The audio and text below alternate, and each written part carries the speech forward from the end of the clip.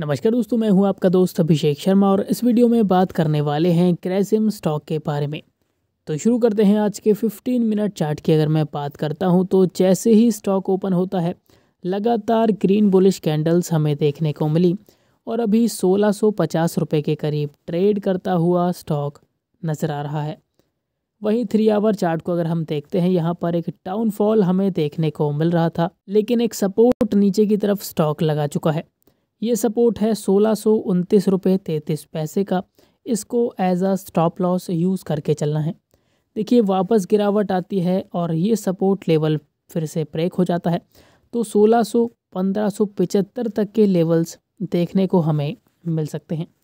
लेकिन जिस प्रकार से ये तेज़ी स्टॉक में जारी है, अगर यही तेज़ी बरकरार रहती है तो आने वाले ट्रेडिंग सेशंस में जो टारगेट स्टॉक अचीव करेगा वो है सत्रह सौ सत्रह सौ पचास तक के टारगेट्स भी अचीव होते हुए हमें ग्रेसिम स्टॉक में नज़र आ सकते हैं।